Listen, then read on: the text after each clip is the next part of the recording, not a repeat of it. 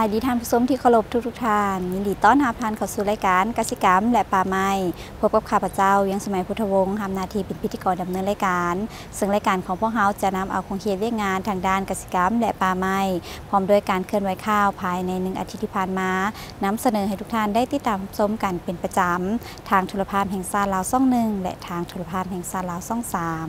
มาพบกันในระยะทำอิฐของทางรายการนั้น จะพาทุกท่านนั้นได้ไปรับชมข่าวจากทางรายการของพวกเรากันก่อนซึ่งเฮาก็มาเริ่มต้นกันที่ข่าวรัฐมนตรีกระทรวงกษตรกรรมและป่าไม้ ต้อนรับทูตแห่งสาธารณรัฐอินโดนีเซีย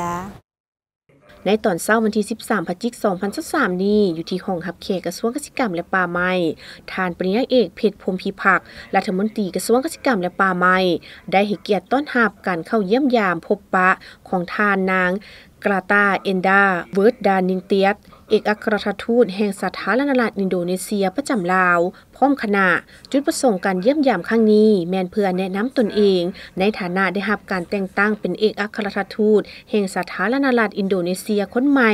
ประจำสาธารณรัฐประชาธิปไตยประชาชนลาว และพบปะเพื่อปรึกษาหารือเกี่ยวกับทาแหงในการร่วมมือ ระหว่างลาวอินโดนีเซีย อินโดนีเซียลาวในขงเขตเวียกงานกสิกรรมและป่าไม้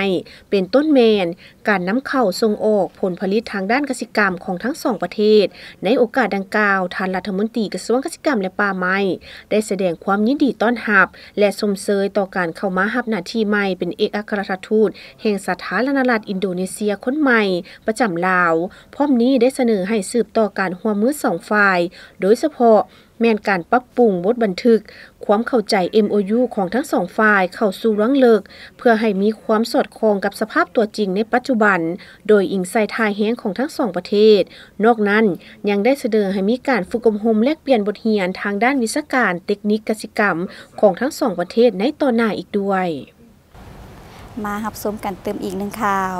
กองประชุมการติดตามและสุมหิ้วการจัดตั้งปฏิบัติโครงการพัฒนาพื้นฐานโครงลางชนบท และการคุ้มครองอ่างตรงแบบเยนยง พื่อเป็นการปรึกษาหารือเกี่ยวกับปัญหาสิ่งท้าทายต่างๆ ที่เกิดขึ้น เพื่อหาแนวทางและวิธีการแก้ไขที่เหมาะสม ในระยะเวลาการจัดตั้งปฏิบัติเวียกงานของโครงการให้ได้รับผลตามที่ได้กำหนดไว้ ในตอนเช้าวันที่ 13พฤศจิกายน 2023 นี้ โครงการพัฒนาพื้นฐานโครงลางชนบทและการคุ้มครองอ่างตรงแบบยืนยงโพสโค กลุ่มชลประทานกระทรวงเกษตรกรรมและป่าไม้ได้จัดกล่องประชุมการติดตาม และสุกยู่การจัดตั้งปฏิบัติโครงการของตนขึ้น ที่ห้องประชุมของกรมโดยการเป็นประธานร่วมของทานปริญญาเอกคำพจันทร์วงศนะหักษาการหัวหน้ากรมชลประทาน ทานนางนิโลฟาซาเดนกิหัวหน้าทีมงานการลงติดตามสุกยูของธนาคารพัฒนาอาซีมีบรรดาทานห้องหัวหน้ากรมหัวหน้าห้องหัวหน้าแผนกกสิกรรม และป่าไม้แขวงเป้าหมายโครงการผู้ประสานงานโครงการขั้นส่วนกลาง แขวงเมือง ผู้เชี่ยวชาญประจำโครงการและแขกถึกเสินเข้าร่วมทานปริญญาเอกคำพจันทร์วงศนะหักษาการหัวหน้ากรมชลประทาน ได้มีคำเห็นต่อกล่องประชุมว่า การลงติดตามสุกยูของทีมงานธนาคารพัฒนาอาซีในครั้งนี้ เป็นการลงติดตามสุกยูปกติของโครงการ ที่ได้รับทุนสนับสนุนของธนาคารพัฒนาอาซี ซึ่งจะเป็นผลดีให้แก่การจัดตั้งปฏิบัติโครงการ และจะเป็นการติดตามผลการจัดตั้งปฏิบัติบุตรบันทึกความเข้าใจ MOU ในการลงมาติดตาม สุกยูในปี 2022รวมทั้งเป็นการปรึกษาหารือเกี่ยวกับปัญหาสิ่งท้าทายต่างๆ ที่เกิดขึ้น เพื่อเห็นให้การมาติดตามสุกยูโครงการในครั้งนี้ บรรลุตามจุดประสงค์เป้าหมายที่วางไว้ท่านยังได้เน้นนักให้คณะรับผิดชอบโครงการ ให้การห่วมมือในการสนองข้อมูล และอำนวยความสะดวก ให้แก่คณะทีมงานติดตามกวดกาสุกยูบรรดาหน้าเวียกที่ได้ตกลงเห็นดี ในท้ายปี 2022ว่าหน้าเวียกอันใดสำเร็จ ปฏิบัติได้ดีหน้าเวียกอันใดยังบ่ทันสำเร็จข้อยุ่งยากและทิศทางแก้ไขในต่อหน้า ต้องได้เสนอความเป็นจริงต่อกองประชุม ทีมงานสุกยูเพื่อแก้ไข และเฮ็ดให้การจัดตั้งปฏิบัติเป็นไปตามแผน เสนอให้ทุกภาคส่วน ให้มีส่วนร่วมในการจัดตั้งปฏิบัติโครงการ บริษัทที่ปรึกษาให้เอาใจใส่ในการปรึกษาหารือประกอบคำคิดเห็น แบบกงไปกงมาด้วยความรับผิดชอบสูง ให้บรรลุตามจุดประสงค์เป้าหมายที่วางไว้ มาปิดท้ายกันที่ข่าวกองประชุมสรุปการหัวมมือในการค้นคว้าทดลองพัฒนาการปลูกมอนเลี้ยงมอนในระยะหนึ่งปีกล่องประชุมสรุปการห่วมมือในการค้นคว้าทดลองพัฒนาการปลูกมอนเลี้ยงมอนในระยะ1ปี โครงการพัฒนาการปลูกมอนเลี้ยงมอนแม่นมีการร่วมมือกันระหว่าง สถาบันค้นคว้ากสิกรรม ป่าไม้และพัฒนาชนบท ก็คือศูนย์ค้นคว้าพืชพักและไม้ให้มากร่วมกับบริษัท EK Farm and Farm หมอบรีของสาธารณรัฐเกาหลี ซึ่งเป็นการจับมือร่วมกันในการจัดตั้งปฏิบัติโครงการค้นคว้าและพัฒนาการปลูกมอนและเลี้ยงมอน โดยการศึกษาเลี้ยงมอนเพื่อจะนำเอาผลสำเร็จและแนวพันธุ์ที่เหมาะสมเกี่ยมลงสู่สาวกสิกรกลุ่มผู้ผลิตในอนาคตโครงการดังกล่าวนี้ได้เริ่มจัดตั้งปฏิบัติ นับตั้งแต่เดือนกรกฎาคม2022หาเดือนกรกฎาคม2023ในวันที่ 10พฤศจิกายน 2023 ที่ศูนย์ค้นคว้าพืชพักและไม้แหมาก สถาบันค้นคว้ากสิกรรม ป่าไม้และพัฒนาชนบท กระทรวงกสิกรรมและป่าไม้ ได้จัดกล่องประชุมสรุปการร่วมมือในการค้นคว้าทดลอง พัฒนาการปลูกมอนเลี้ยงมอนในระยะ 1 ปี ของโครงการค้นคว้าทดลอง และพัฒนาการปลูกมอนเลี้ยงมอน และทิศทางแผนการในต่อหน้าขึ้น ที่ศูนย์ค้นคว้าพืชพักและไม้แหมาก หาดดอกแก้ว โดยการเป็นประธานร่วมของทานปริญญาเอกจันทครบัวละพันธ์ ห้องหัวหน้าสถาบันค้นคว้ากสิกรรมป่าไม้และพัฒนาชนบทท่านขันคำอ้วนอุดม ต่างหน้าห้องการกระทรวงห้องหัวหน้ากองเลขาสภาวิทยาศาสตร์เทคนิคกสิกรรมและป่าไม้ทานสร้างสุนยนต์ประธานบริษัท EK Farm and Farm ทานยุนยองฮอน ห้องประธานบริษัท EK Farm and Farm ซึ่งมีภาคส่วนที่เกี่ยวข้องและแขกถึกเสิญเข้าห่วม ในที่ประชุมทานปริญญาเอกทองคูณสีสะภัยทองหัวหน้าส่วนค้นคว้าพืชพักและไม้เหมาก ได้ขึ้นรายงานเกี่ยวกับพลาบทบาท สภาพความเป็นมา ยุทธศาสตร์และนโยบายรวม ของส่วนค้นคว้าพืชพักและไม้เหมาก หลังจากนั้นทานไพฑูรย์มุนเสนา ห้องศูนย์ค้นคว้าพืชพักและไม้เหมาก ได้ขึ้นรายงานเกี่ยวกับการจัดตั้งปฏิบัติโครงการปลูกมอนเลี้ยงมอนในระยะ1ปี และที่ทั้งแผนการในต่อหน้า ซึ่งได้ให้ฮู้ว่าโครงการค้นคว้าทดลอง และพัฒนาการปลูกมอนเลี้ยงมอนมีจุดประสงค์เพื่อศึกษาการเจริญเติบโตของแนวพันธุ์มอนเกาหลี ในเงื่อนไขสภาพแวดล้อมหรือสภาพอากาศในสาธารณรัฐประชาธิปไตยประชาชนลาว เพื่อคัดเลือกเต้าโฮมแนวพันธุ์ และขยายเป็นแนวพันธุ์นำไปส่งเสริมให้แก่กลุ่มสาวกสิกรที่ปลูกมอนเลี้ยงมนในเขตกลุ่มเป้าหมาย เพื่อเป็นการปรึกษาหาลือ แลกเปลี่ยนบทเรียนและประสบการณ์ในการจัดตั้งปฏิบัติผ่านมา เพื่อเสริมขยาย จุดดีและซ่องหาวิธีทางแก้ไขจุดบกพร่องเพื่อการปรับปรุงแก้ไขในอนาคต ผ่านการจัดตั้งปฏิบัติโครงการในระยะ1ปีผ่านมา ได้ปรับปรุงติดตั้งระบบไฟและน้ำ ใส่สวนมอนปรับปรุงคืนสวนมอนการบุกเบิกพื้นที่เพื่อปรับปรุงสวนปลูกต้นมอนคืนใหม่ การตัดแต่งปรับปรุงคืนใหม่สวนมอนขยายแนวพันธุ์มอนเพื่ออนุรักษ์พันธุ์ การปลูกขยายสวนมอน ห้องหับการเลี้ยง ซึ่งแนวพันธุ์ที่นำมาปลูกมี 2 ชนิด คือ แนวพันธุ์มอนที่นำมาจากสาธารณรัฐเกาหลี จำนวน 290 ต้น และแนวพันธุ์มอนที่มีอยู่ในศูนย์คือ แนวพันธุ์ที่เหมาะสำหรับเกลือตัวมอนที่มีลักษณะที่เด่นเช่นแนวพันธุ์มอนเกลมอนปางยอดดำ ปางยอดขาวบล60 และพันสกลนครจำนวน 1,200 ต้น ในเนื้อที่ 3,200ตาเมตร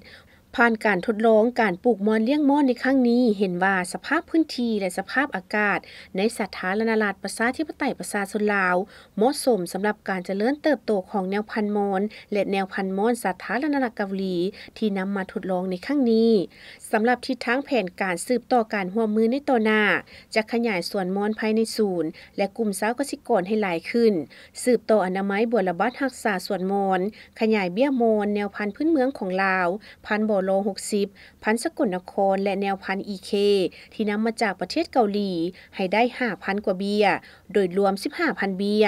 สร้างแผนร่วมกับบริษัท EK Farm and Farm และบริษัท Silvom w i s Mouthberry สาธารณรัฐเกาหลี เพื่อร่วมมือการจัดตั้งปฏิบัติโครงการค้นคว้าพัฒนาเวียกงาน การปลูกมอเลี้ยงมนในการเพิ่มมูลค่าทางด้านผลิตภัณฑ์ ท่านผู้ชมที่ทานได้รับชมผ่านไปนั้นก็แมนข้อมูลข่าวสารที่ทางรายการกสิกรรมและป่าไม้ของพวกเรานำเสนอให้ทุกท่านได้ติดตามรับชมกันในอาทิตย์นี้ จากนี้ไปจะพาทุกท่านนั้นได้ไปพักชมสิ่งที่น่าสนใจจากทางรายการของพวกเรากันก่อน แล้วจึงกลับเข้ามาสู่ระยะเวียกดีคนเด่นอิน สีทองอินสีทองการค้าขายคู่โบตาเมื่อท่านคิดถึงเครื่องกลจักรทำใช้การเกษตรต้องมาที่บริษัทอินซีทองมอเตอร์จำหน่ายรถแทรกเตอร์ รถเกี่ยวเข้ารถดำนารถจก หรืออุปกรณ์ต่อพ่วงทุกชนิด และอะไหล่ของแท้ยี่ห้อคูโบต้าจากญี่ปุ่นทั้งสดและผ่อนรับประกันคุณภาพมีบริการหลังการขายและส่งเปล่งถึงทีวงไวทันใจและเสื้อมันได้ด้วยในสร้างที่สำนานงานมีประสบการณ์หลายกว่า 10 ปี พิเศษผ่อนสินค้ายี่ห้อคูโบตาจากบริษัทพวกเขา ดอกเบี้ยต่ำผ่อนยาวถึง 4 ปี สนใจติดต่อสอบถามและพัวพันได้ที่บริษัทอินซีทองมอเตอร์ขาโอขาเข้าจำกัดผู้เดียว สำนักงานใหญ่ตั้งอยู่บ้านโคกศรีวิไลเมืองไซธานีนครหลวงเวียงจันทร์โทร 0 3 0 9 8 0 9 8 9 8 สาขาไซมุงคุณตั้งอยู่เมืองนาเซทงนครหลวงเวียงจันทร์โทร 0 2 0 5 5 5 5 5 4 2 3 สาขาบริคัมไซตั้งอยู่เมืองปากซันนาตลาดอิดูจีน โทร 0 5 4 7 9 0 9 5 5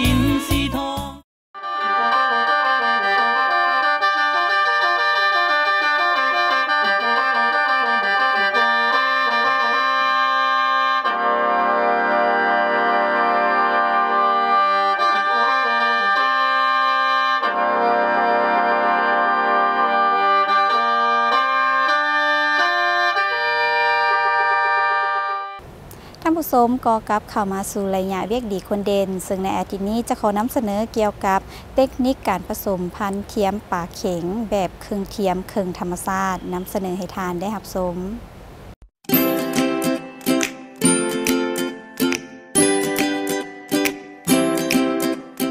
มื้อนี้สิมานำเสนอการผสมพันธุ์ปลาเข็งแบบเครื่องเทียมเครื่องธรรมชาติอุปกรณ์ที่เฮาใช้มีคือ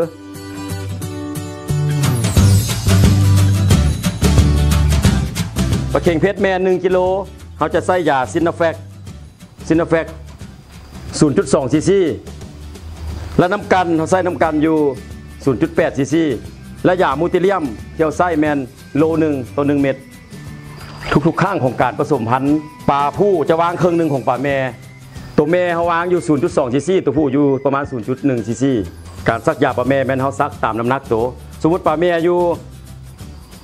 สองสองขีด สองขีดเขาจะซักอยู่ประมาณเขาซักอยู่ประมาณอยู่0.2ซีซีขั้นปลาสามขีดตัวสามขีดต้องซักอยู่0.3ซีซีเขาซักเขาซักอยู่ซักอยู่ขี้หลังนี่ตัวขี้หลังนี่ขี้หลังนี่มันจะมีหูอยู่กองขี้นี้ แล้วก็คอยฉีดยาเขาเบาๆคอยฉีดยาเขาเบานี่บัดก้อนเขาชิทอดเข็มบอกเขากันยังเน้นเพื่อบ่อยยามันไหลกลับคืนฮะหลังจากเขาซักยาปลาผู้ปลาแม่แล้วแล้วเขาก็มาเคลื่อนย้ายปลาผู้หรือปลาแม่ไปใส่อ่างผสมพันธุ์ที่เขาเกี่ยมไว้ จ้าเขานำเคลื่อนย้ายปลามาแล้วเขาก็มาปล่อยปลาลงอ่างผสมพันธุ์ที่เขาเกี่ยมไว้นี้ แล้วเขาก็ตะนางพกเพื่อป้องกันป่าพอพันธุ์เขาโดดออกฮะประมาณ6ชั่วโมงปลาผู้และปลาแม่มันจะไล่เกี่ยวพาราซีกันผสมพันธุ์กัน แล้วมันจะออกไข่ใครแล้วล่ะมื้ออื่นเศร้าเจ็ดโมงเศร้าเขาก็บ่ย้ายป่าผู้และป่าแม่ออก แล้วเขาก็ย้ายเอาไข่ป่าไปฟัก ใส่อ่างบานาฟักไข่ที่เขาเกี่ยมไว้ มันจะใช้เวลาฟักอยู่ประมาณเศร้าห้าหาสามสิบชั่วโมง แล้วไข่ก็จะแตกเป็นตัวแล้วเขาก็อนุบาลอยู่อ่างอ่างอันอนุบาลนั้นประมาณเจ็ดวัน มาฮอดนี้การนำเสนอการผสมปลาเข็งแบบเครื่องเทียมเครื่องธรรมชาติก็ได้สิ้นสุดลงแล้วหากสาวเกษตรกรท่านใดสนใจอยากได้ลูกปลาน้อยไปเลี้ยงขอให้ติดต่อพอพันธุ์ศูนย์วิชาการประมงของพวกเราได้ขอขอบใจ ท่านผู้ชมต่อจากนี้ไปจะขอนำเสนอเกี่ยวกับวิธีการเฮ็ดน้ำมักสมุนไพรซึ่งจะมีขั้นตอนและวิธีการเฮ็ดขึ้นในรายนั้น ขอเชิญท่านผู้ชมรับชมได้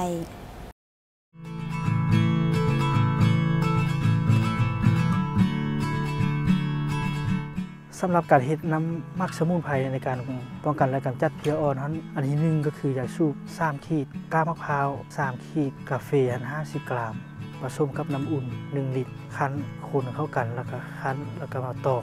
เอาไปนำใช้การนำใช้ฮันแมน5บวงต่อน้ำ10 ลิตร หรือ 15 ลิตร ซีดให้ถึกตัวของตัวเพลี้ยการซีดฮันแมนอาทิซีดสางมันที่ต่อกัน หรือซีดสองอาทิตย์ต่อครั้ง ถ้าว่ามันบ่ให้แห้งก็ซีดอาทิตย์ละครั้ง อัตราการนำใช้ที่ผสมนำแล้วหันแมน185 200 ลิตรต่อเฮกตาร์ สูตรที่ซองที่เราใช้ในการป้องกันและกำจัดเพียอ่อนเนาะ อันนี้หนึ่งก็มีน้ำส้มสายสู250มิลลิลิตร แฟบซ่องบวง น้ำสาวลิตรผสมเข้ากัน แล้วก็เอาไปทำไส้เลยตัวนี้เนาะ การทำไส้ก็185 200 ลิตรต่อเฮกตาร์คือกันอาซิซีให้มันฮิ้วตัวของตัวเพีย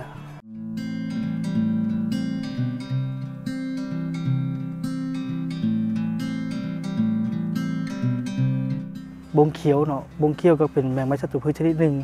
ที่ทำลายพืชผักตระกูลกะหลำซึ่งลักษณะการทำลายของบงเขียวก็คือกับบงสิ่งอื่นทั่วไปเช่นว่าบง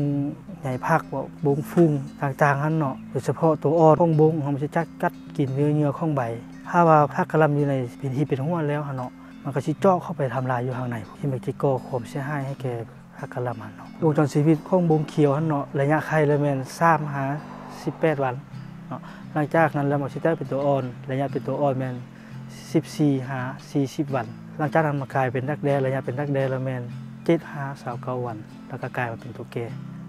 สำหรับการป้องกันและกำจัดบุงเขี้ยวนี่ก็คือกับบงอาหนาใหญ่พักคือกับบุงฟุ้งวิธีการนำไซละแมนเฮาเอาเชื้อเมตาเลเซียม 1 กิโลผสมกับน้ำหัน30 ลิตรเนาะแช่ป้าไว้3-4ชั่วโมง หลังจากนั้นมาบีบคั้นให้เชื้อหันกระจายเนาะแล้วก็ตองไปนำไส้ได้เลยมันซะอัตราการนำไส้ละแมน185 200ลิตรต่อเฮกตาร์ที่ผสมนำแล้วเนาะนอกจากเชื้อเมตาเลเซียมแล้วเนาะก็ได้สาธิตการนำใช้เชื้อบูเบเรียบาเซียนาซึ่งเชื้อบูเบเรียบาเซียนาก็ใช้ในการควบคุมแบ่งไม้ใช้ต่างๆโดยเฉพาะบุ้ง เพียซึ่งการนำใช้อันละเมน1กิโลของเชื้อผสมกับน้ำสาวห้าสามสิบลิตรแช่ป้าไว้สามห้าสี่ชั่วโมง จากนั้นคั้นแล้วก็ตองเอาไปนำใช้การนำใช้ร้อยแปดสิบห้าสองร้อยลิตรต่อเฮกตาร์เช่นเดียวกันเนาะ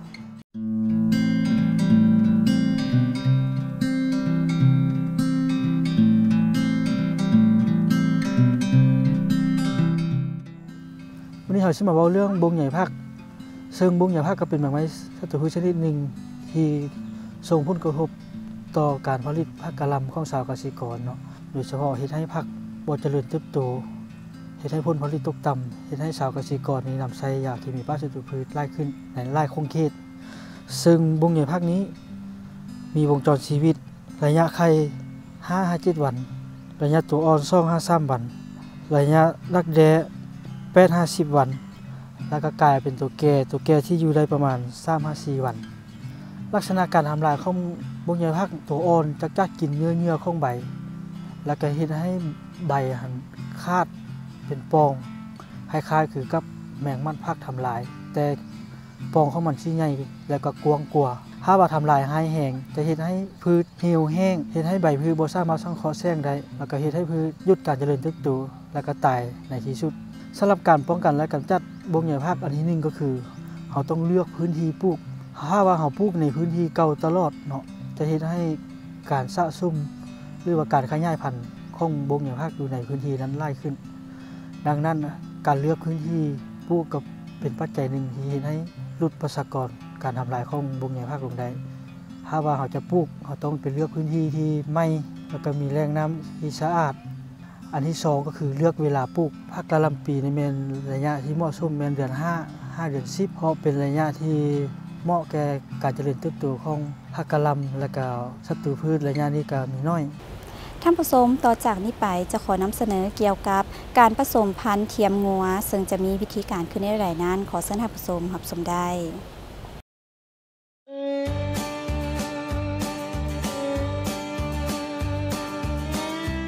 การผสมพันธุ์เทียมแม่นวิธีผสมพันธุ์แบบนำไส้เทคนิควิทยาศาสตร์ โดยการฮีดเอาน้ำเสื้อจากงัวตัวผู้หรือพอพันธุ์ตามหลักวิศาการ แล้วนำไปสีดเข้าในอวัยวะสืบพันธุ์ของงัวตัวแม่ในขณะที่กำลังขึ้นเพศ หรือมีความพร้อมในการผสมพันธุ์ เพื่อเฮ็ดให้งัวตัวแม่ถือพา โดยบ่ต้องให้สัตว์ผสมพันธุ์กันเองตามธรรมชาติการผสมพันธุ์แบบนี้มีข้อดีคือ สามารถผสมพันธุ์หลาย ๆ เมได้พร้อมกัน มีการจัดระบบการผสมพันธุ์ได้ดี และกวดการติดตามง่าย แต่ก็มีข้อเสียคือ ถ้าบ่มีความสำนาญ จะมีอัตราการผสมติดต่ำกว่าการผสมพันธุ์แบบธรรมชาติ เทคนิคในการผสมมันเทียมงัว ซึ่งเราจะยากเฮ็ดผสมมันเทียมงัวได้นี้เราต้องรู้จักเทคนิคเนาะ เช่นว่าการติดตามงัวแม่ขึ้นเพศเราต้องรู้อาการของงัวแม่นั้นซึ่งว่าเราต้องติดตามงัวสามระยะเนาะซึ่งเช้าแล้วก็ตอนเที่ยงตอนแรงเนาะสางระยะระยะหนึงติดตามประมาณ 10 หรือ 15 นาทีนี่ก็คือโอเคเนาะบัดนี้การติดตามงัวแม่ขึ้นเพศนี่เราจะเบิ่งให้มันฮู้เนี่ยได้ ซึ่งว่าเราจะเบิ่งนึ่งงัวมันจะกระวนกระวายเนาะตัวที่มันจะขึ้นเพศหรือว่ามันจะซึงบุกินอาหาร หรือว่าอัญญาประเภทมันจะบวมซ้ำและมีน้ำเมือกไหลออกเนาะถ้าเห็นมีอาการนั้นเราก็ต้องได้เอามาเข้าคอก แล้วก็ให้วิศการผู้สำนาญนั้นไปกวดเบิ้งเนาะ กวดเบิ้งแล้วก็หูว่างัวขึ้นเพศแล้ววิศการจะกะตวงเวลาที่เวลาที่เหมาะสมที่จะไปผสมพันธุ์นั้นเนาะดังนั้นวิศการไปผสมพันธุ์นี้จะมีอุปกรณ์ อุปกรณ์ที่มีอันก็จะจะเกียมไปพร้อมเนาะแล้วก็จะไล่ระยะเวลาที่มันเหมาะสมระยะเวลาที่งัวขึ้นเพศที่มันเหมาะสมหัวไข่มันจะลงนั้นเนาะ อุปกรณ์พื้นฐานสำหรับการผสมพันธุ์เทียมมีถังบรรจุธาตุไนโตรเจน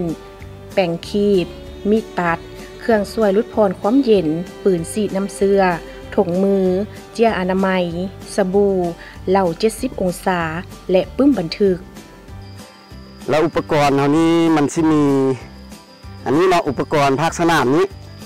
ตัวนี้แม่นถังเนาะถังที่ใส่น้ำเสื้อ ถังใส่น้ำเสื้อนี้มันจะมีไนโตรเจนไนโตรเจนแล้วมันจะมีไอายเนาะเราจะมีน้ำเสื้อน้ำเสื้อคือว่าไนโตรเจนนี่มันจะอยู่ในอุณหภูมิลบ196 องศา ความเย็นเนาะแต่ว่าเวลาเราจับมันจะออกร้อนกายเย็นจนฮ้อน แล้วก็มันจะมีอันนี้นี้โซ่โซ่ปืนแล้วก็มีปืนอุปกรณ์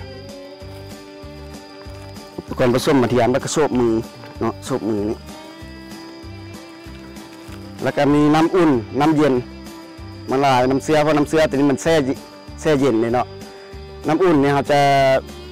ต้มน้ำห้อนน้ำเฮามาละลายผสมกับน้ำเย็นนี้ให้มันได้ 35 37 องศา เมื่อเรามีอันตัววัดแท้อุณหภูมินะเราจะจุ่มอุณหภูมิมันจะขึ้นประมาณ 35 37 แล้วถือว่าน้ำเราได้ได้อุณหภูมิ แล้วเราจะเอาน้ำเสื้อมาแช่เมียนเนาะแช่เมียนประมาณ 15 วินาที แล้วเราจะเอามาเซตเนาะมาเซตแล้วก็ไล่น้ำเสียหั่นละเราจะตัดปลายแล้วเราก็จะเกี่ยมปืน วันนี้ก้อนเราสิเกี่ยมปืนเกี่ยมอาวุธนั้น เราต้องรู้ว่างัวเรามันมีความพร้อมแล้วบ่คันเรารู้ว่ามีงัวมีความพร้อมแล้วเราก็ต้องได้ไปจกจกกวดเบิ่งแล้วก็เอาน้ำมันขี้ขี้สัตว์นั้นออกจากก้นนั้นเนาะแล้วก็ได้เอาน้ำล้างเอาเกียน้ำมันเช็ดเอาน้ำมันให้มันสะอาด แล้วก็บัดนั้นเราก็ มาเกียม เครื่องอุปกรณ์ แล้วก็ไปจกเฮ็ดผสมมันเทียม วิธีการผสมพันธุ์เทียมงัวมีดังนี้ เมื่อกะเกียมงัวแม่เข้าคอกแคบแล้ว สวมซบมืออยาง และจุ่มน้ำโลลื่น หรือใส่สบู่เพื่อสะดวกในการจก ยืนอยู่ข้างใดข้างหนึ่งของงัวแม่พันธุ์ตามความถนัดของตนเองใส่เจียอนามัยเสร็จบริเวณอวัยวะเพศ ให้สะอาดดี ระวังบ่ให้ขี้สัตว์ลดเข้าในอวัยวะเพศ ใส่มือซ้ายสอดเข้าไปในหูทวาร โดยปลายนิ้วมือทุกนิ้ว ต้องจุ้มเข้ากัน ค่อยๆจกเข้าไป เอามืองุ้มไปตามทอมดลูก จากเทิงลงลุม ค่อยๆลูบคำซอกหาคอมดลูก แล้วกำไว้ใส่มืออีกเบื้องหนึ่งค่อยๆแย่ปืนผสมพันธ์ เข้าทั้งสองโคดให้เป็นมุม 35-40 องศา พยายามให้ปลายปืนสอดเข้าไปถึงปากคอมดลูก จนถึงตำแหน่งที่ปล่อยน้ำเสื้อ เมื่อแน่ใจว่าปลายปืนอยู่ในตำแหน่งปล่อยน้ำเสื้อแล้ว ค่อยๆ ปล่อยน้ำเสื้อเข้าให้หมด แล้วถอดปืนออก ใส่มือที่จกอยู่นวดกระตุ้นมดลูกเบาๆอีกอันนึงนั้นที่เราไปเฮ็ดนประชาชนนั้นมันจะมีความยุ่งยากความยุ่งยากอยู่บนว่าการติดตามงูนะการติดตามงัวกระเจ้าบางเที่ยกระเจ้าอาจจะบ่ฮู้ว่าเออ งัวมันขึ้นเพศจังไดหรือว่ามันสิขึ้นยามใดหรือว่ามันขึ้นยามใดบ่ฮู้สังเกตเนาะแต่ว่าคำเทคนิคอันนึงมันเฮาใส่งัวผู้น้อยผู้ที่มันเชิงบ่ได้ครับเป็นตัวเลาะตัวนั้นมันสิสะดวกกับเจ้าลายกว่าเพราะงัวน้อยมันสิฮู้เนี่ยว่างัวแม่ตัวนี้มันสิขึ้นเพศนะมันนักดมดมกินแบบมันสิโดดโคมแบบ มันโดดโคมกันอยู่กลางบ้านกลางอย่างนี้นะ แล้วกับมันมีปัญหาเรื่องเข้ากับเจ้าป้อยแล้วมันมีหัวผู้นเนาะผู้ก๊อกที่มันเสื่องแล้วคันเฮาอธิบายกับเจ้าฟังอะนะกับเจ้าบางบางบ่อนกับเจ้าจะเข้าใจผู้กับเจ้าอยากเฮ็ดเนาะแต่ว่าเดี๋ยวนี้อยู่อ้อมแอมเมืองนาสายทองอันนี้มันกับเจ้าถือว่าเข้าใจหลายแต่เวลามือบางเทื่อเฮาก็ไปเฮ็ดสองตัวสร้ามตัวายหลังผสมพันเทียมแล้ว ควรปฏิบัติดังนี้ อนามัยอุปกรณ์และปืนผสมพันเทียม ด้วยเหล่าเก้าซิบหรือยาฆ่าเสื้อแล้วเก็บรักษาไว้ ในบ่อนที่ปลอดภัยทำการบันทึกข้อมูลที่จำเป็น ใส่ปื้มบันทึกเซ็นน้ำเบิงหัวแม่พันมือผสมพันน้ำเบอร์พอพันซื้อเจ้าของสัตว์และซื้อวิสาการที่เหตุการณ์ผสมพันเทียม ให้อาหารและน้ำปกติ และติดตามการขึ้นเพศครั้งต่อไป ภายหลังผสมได้ 17 ถึง23มือ ขั้นตอนสุดท้ายเนี่ยเราจะให้ความแนะนำในเรื่องเนาะการที่ว่าเราเฮ็ดผสมมันเทียมไปแล้ว ถ้าว่ามันความพร้อมของตัวแม่หรือว่าบางเทื่อความผิดพลาดของวิชาการคันมันบุติดหอบเบียนอีกเท่าไม่มันจะขึ้นเพศอีกรอบใหม่หอบ ตกไข่มันสิประมาณ 18 51วันเนาะหอบเบียนของตัวแม่เราต้องติดตามมึงว่าแต่มือเราผสมพันธุ์ไปห้ามือที18 หรือ21วัน ถ้าว่าหอบมันยังมีอาการขึ้นเพศคือเก้านั่นแสดงว่างูเห่าบวบบติด21 18 51วันเอ่อค่ะถ้ามันบุติดเราก็ต้องได้โทรหาวิชาการผู้ที่ไปเฮ็ด ถ้าหากสาวกสิกรหรือภาคส่วนใด มีความสนใจอยากปรับปรุงแนวพันงัวของตนเอง ให้มีการเจริญเติบโตไว มีน้ำหนักหลายขึ้นกว่างัวพื้นเมือง จงเหตุการณ์ปรับปรุงพันธุ์ด้วยรูปแบบการผสมพันธุ์เทียม และสามารถติดต่อมาได้ที่สถานีค้นครัวและปรับปรุงแนวพันธุ์งัวน้ำสวง บ้านสีบิไล เมืองนาเซทองนครหลวงเวียงจันทน์โทร 020 2224 1695 ท่านผู้ชมที่ทานได้รับชมผ่านไปทั้งหมดแล้วนั้น ก็แมนข้อมูลข่าวสารที่ทางรายการกสิกรรม และป่าไม้ของพวกเรานำเสนอให้ทุกท่านได้ติดตามรับชมกันในอาทิตย์นี้ ท่านสามารถติดตามรับชมรายการของพวกเราได้ใหม่ในวันและเวลาเดียวกันนี้ ทางโทรภาพแห่งซาลาวซ่องหนึ่งและทางโทรภาพแห่งซาลาวซ่องสามก่อนจากกันไปในมื้อนี้ก็ต้องขอกล่าวคำขวัญของกองทุนลุพรความทุกข์ยากให้ท่านผู้ชมนั้นได้รับทราบนั่นก็คือทุกสิ่งทุกอย่างมาจากความต้องการของประชาชนโดยประชาชนและเพื่อผลประโยชน์ของประชาชนดุมันซื่อสัตย์ประหยัดอดทนพาทุกคนพ้นทุกลงหากฐานสร้างบ้านพ้นทุกสุขยิ้วโพสนาการสร้างฐานไร้หับ ปรับปรุงชีวิตการเป็นอยู่สู่ส้นสร้างตัวแบบ ก่อนจากกันไปในมื้อนี้ก็ต้องขอขอบใจน้ำกระทรวงเกษตรกรรมและป่าไม้กองทุนลดพรความทุกข์ยาก โครงการลดพรความทุกข์ยาก และการขาดโฆษณาการในเขตชนบท ที่สนับสนุนรายการของพวกเราด้วยดีเสมอมา มาฮอนนี้ข้าพระเจ้าเวียงสมัยพุทธวงศ์พร้อมด้วยทีมงานของทางโทรภาพแห่งชาติลาว และทีมงานข่าวสารของกระทรวงเกษตรกรรมและป่าไม้ก็ต้องขอลาทานผู้ชมไปก่อน พบกันได้ใหม่ในอาทิตย์หน้าสำหรับมื้อนี้สบายดี